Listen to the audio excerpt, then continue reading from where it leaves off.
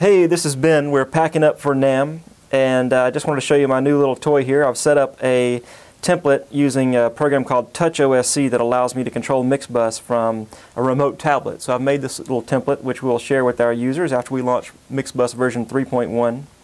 And this gives me everything I need to do to do a little recording session if I want to not be sitting at my computer, which is kind of a cool thing.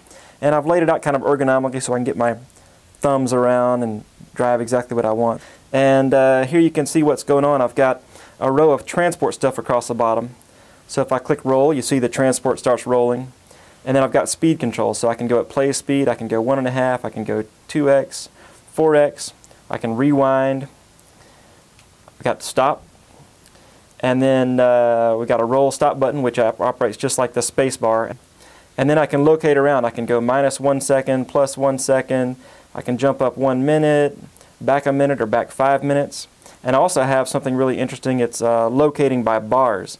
So if I was rolling along with my track and I wanted to back up four bars, this will back me up four bars and put me right on the measure line so that I'm starting. Or I can go back 16 bars or one bar at a time and I can go to the start of my session by clicking Go to Start. I can go to the end with Go to End. So that's the transport stuff. I've got uh, loop controls. Can you locate by marker? You can locate by marker. So if I'm rolling along here, if you'll watch at the top, I can click the new marker button. It's right under my thumb. And I'll drop in a few markers. And then if I hit stop, I can hit previous or next to jump around between the markers on the screen there. And then if I'm on a marker that I want to get rid of, I can click delete marker and it'll drop that marker out. And uh, if I delete one that I didn't mean to, I'll click undo up here and it puts it back. So the basic idea here is that this transport is something you can run a session with if you're sitting uh, with your instrument and not in front of the laptop. Or even if you want to have two people controlling it, two people can have these controllers and operate the transport and do everything you need to record and see what's happening. I mean, I can, I can zoom in and zoom out. I can also go into some zoom presets so I can see exactly one minute of audio, or I can see 10 seconds of audio, or five minutes or 10 minutes, or I can zoom out to see the whole session.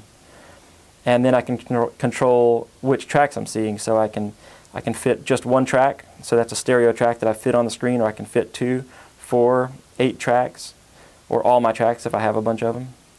So I'm going to stick with four. And then uh, I've got page up and page down buttons, so if I say if I'm looking at two, I can page up and down between the tracks. How about uh, punching and looping? Yeah, yeah, you can do all the recording stuff. You, I didn't talk about loop, but uh, when if you set up your loop range, so let's set up a loop real quickly. I'm going to roll a little bit, and I'm going to click the mark in button and the mark out button, and then I'm going to click set loop range. So that just set up my loop to operate on that section of audio, so I can loop on top of that. So now, uh, if I want to punch in, I can turn on the punch in and punch out markers so you see these turn red and then hit the master record arm and I'm going to roll through and when I roll through that section it should punch me in and record over that section whether it's a guitar solo or whatever. So there's my punch in. And I'm going to back up a little bit. If, I, uh, if I'm rolling and I want to record, let's turn off my punch, my punch zone and I'm just going to punch in and start recording here. So I'm recording audio. And if I don't like what I'm doing, I can click this smaller button. This, this button you have to click exactly on, and it says stop and forget. And if I click that button, now that'll automatically dump whatever I was just recording. And I can turn on the click, the metronome from here. So if I roll and I turn on the click, you probably can't hear it, but that's got the click going on the, from my laptop speakers.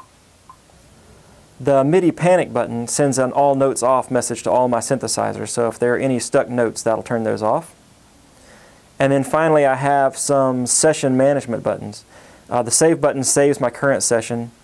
The Snapshot and Continue basically makes a backup session that I can return to at some future time if I need to get to a backup. And the Snapshot and Switch, you can imagine sort of like a new song because it's going to start a new snapshot that allows me to record into a new snapshot and leaves a previous one intact. So that's the basic idea. I can sit here and record um, it's easier to use the keyboard. You know, a, a, physical keyboard or a control surface is easier to use when you're sitting at the computer. But if you're not at the computer, this is a really ergonomic, easy way to get around. I've laid out the important things that I use all the time under my thumbs. And this works on both Android and iOS. So we're going to make these templates available. You have to download the Touch OSC uh, app, which is I think $4.99 on the on the app stores. but it's very inexpensive and it lets you operate all these cool features of Mixbus. Uh, I hope to see you at the NAMM show.